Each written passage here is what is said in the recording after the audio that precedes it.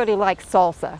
But most of us, when we think of salsa, we think of either tomatoes or tomatillos. But you can make salsa out of so many other things too. So today I'm making a peach mango salsa. And we're going to start with two cups of fresh peaches.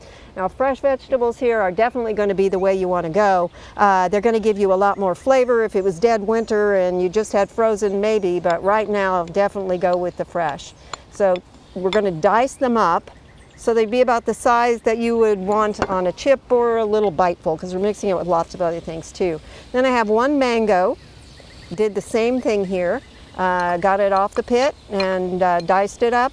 Very pretty and very nice. Now one of the things that I want you to do as you're doing this kind of thing is think about the flavors of the foods that you're putting in. So don't just say, oh, it's two peaches and pick up two peaches, slice and dice and put them in.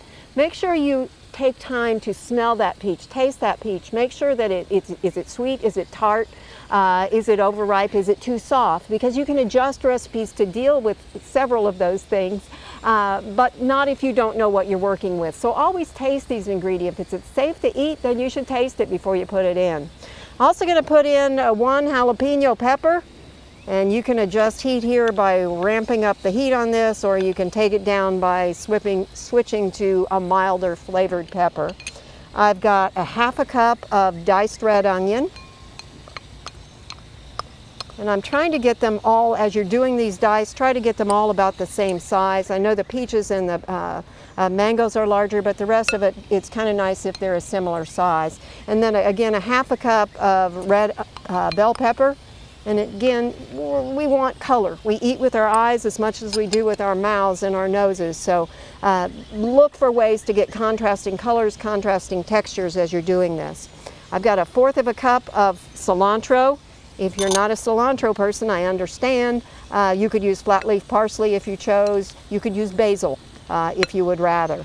And then also to this, I'm going to add one or two cloves of garlic depending on their size and your like of garlic. Three tablespoons of fresh lemon juice. Now this could be lime juice. If you've got limes in the kitchen, feel free to use them. Remember to taste it as you add it, however. Limes and lemons don't always have the same strength. Some are sweeter. So uh, before you stir it in, taste it, see if it's exceptionally tart. And then as you stir it in, taste it and see if it's, if it's the point where you want it to be. Do I need less lime juice before you stir it all in? Also gonna add a half a teaspoon of black pepper and a half a teaspoon of kosher salt. Now we want the flavors on this to blend together.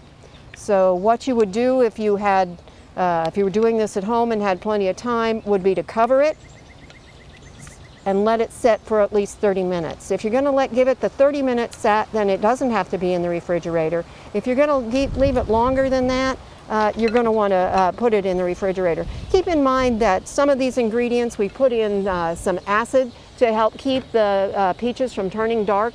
If you want to cut them up ahead of time, you can put a little bit of that lemon juice or lime juice on the peach uh, cover it tightly and put it in the refrigerator so that you can come in and, and mix it up closer to, to the time you're going to want it. We'll assume 30 minutes have now transpired. And I've got one avocado. And this gives it a creaminess. Again, we're looking for those contrasts in flavors and contrasts in texture. This also gives it some healthy fats. Uh, very often we say all fats are bad. Avocados definitely don't fall in that category. You might want to let this one set just a little while before you actually uh, go ahead and serve it. Often salsa, bowl of chips, nothing wrong with that.